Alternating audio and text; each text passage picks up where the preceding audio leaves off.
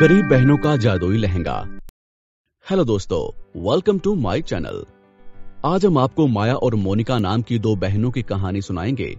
ये कहानी है रामनगर में रहने वाली दो गरीब बहनों की, जो बड़ी मुश्किल से अपना गुजारा करती थी।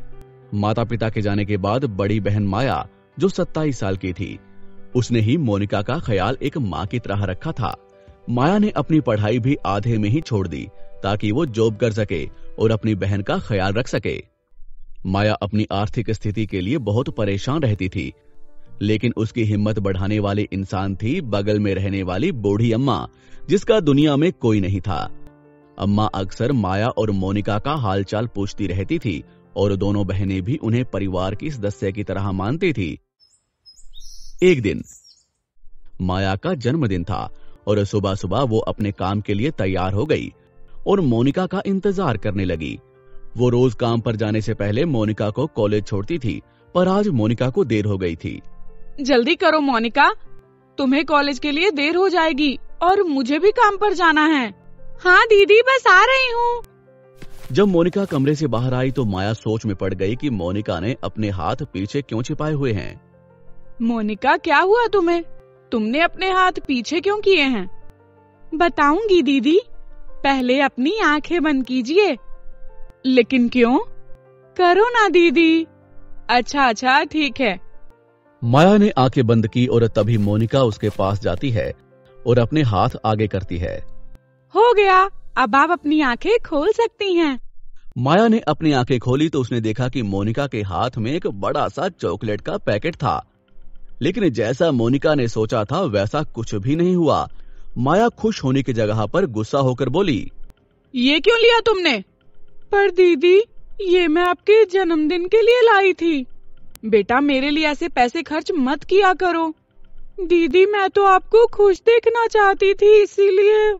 माया उसकी बात को काटते हुए गुस्से में कहती है पता है मुझे कि तुमने ये सब मेरे लिए किया है लेकिन तुम ये सब छोड़ो और अपने ऊपर ध्यान दो। अच्छे से पढ़ाई करो। जी दीदी अगली बार ऐसा कुछ नहीं होगा। मुझे माफ़ कर दो। ठीक है। इतने में अम्मा घर के अंदर आती है और माया को जन्मदिन की बधाई देती है। बेटा माया! अरे अम्मा आप आइए ना। जन्मदिन मुबारक हो बेटा। शुक्रिया अम्मा। अम्मा माया को जन्मदिन की शुभकामनाएँ देती है और मिठाई के डब्बे से एक रसगुल्ला निकाल कर खिला देती है। माया खुशी से रोने लगती है, क्योंकि उसे अपने माँ पापा की याद आ रही थी। बेटा, मैं आज तुम्हारे लिए एक खुशखबरी लाई हूँ। वो क्या है, अम्मा? तुम कब से मोनिका के लिए लड़का ढूंढ रही थी ना? तो मैंने तुम्हारा ये काम कर दिया है। वो कौन है? मेरे दोस्त का रिश्तेदार है, और उन्हें बस हमारी मोनिका चाहिए, और कुछ भी नहीं। ये तो बहुत अच्छी बात है। कल वो लोग आ रहे हैं तो तुम तैयारी करो बस। माया बहुत खुश हो गई और साथ ही मोनिका को ये खुशखबरी सुनाई। अगले दिन लड़के वाले आए और शादी तय हो गई पर एक परेशानी माया को खा रही थी। उसे परेशान देख अम्मा बोल पड़ी क्या हुआ बेटा? तुम परेशान लग रही हो। क्या बोलूँ अम्मा? शादी के लिए मोनिका का लहंगा कहाँ से लाऊं समझ नहीं आ रहा। सारे पैसे तो शादी के बाकी सामान में चले जाएँगे। मैं उसको क्या बोलूँ? तुम चिंता मत करो, मैं कुछ देखती हूँ।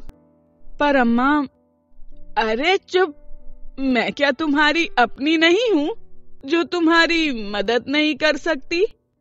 अगले दिन अम्मा शादी के लिए लहंगा लेकर आई और माया को थमा दिया। माया लहंगे की चमक देखकर बहुत खुश हो गई और खुशी से मोनिका को बुलाकर लहंगा दिखाने लगी। मोनिका खुशी से झूम उठी। लाल रंग का एक शानदार लहंगा। चमक ऐसी, मानो उसमें असली हीरे जड़े हों। शादी की तैयारी हो जाती है। सब बहुत ही सीधा साधा था। मोनिका की इच्छाएँ बहुत थी, पर वो दीदी से सब कुछ कह ना सकी। वो लहंगा पहने तैयार बैठी थी। अपने कमरे में, तभी वो सोचने लगी काश उसकी शादी बाकियों जैसी धूमधाम से होती और बाहर खिड़की के पास खड़ी होती है। वहाँ का नज़ारा देखकर वो बहुत खुश होती है। लेकिन साथ ही चौक जाती है, क्योंकि उसकी इच्छा पूरी हो गई थी। सजावट में चार चाँद लग गए थे। वो खुश होकर सोचने लगी कि काश दीदी अमीर होती और बड़ा घर होता तो ससुराल वाले बहुत खुश होते। अगले ही पल घर पूरी तरह से बदल चुका था।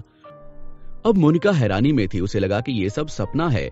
पर जल्द ही उसे समझ में आ गया कि ये सपना नहीं हकीकत था पर उसे अपनी आँखों पर भरोसा नहीं हो रहा था। मोनिका अपनी दीदी को आवाज़ लगाती है।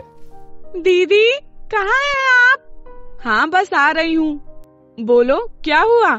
दीदी ये सजावट और घर ऐसे बदल कैसे गया? क्या मज़ाक कर रही हो? ये तो शुरू से ही ऐसा है। चलो अच्छे से तैयार हो जाओ। मोनिका की समझ में कुछ भी नहीं आ रहा था क्योंकि दीदी को कुछ भी याद नहीं था।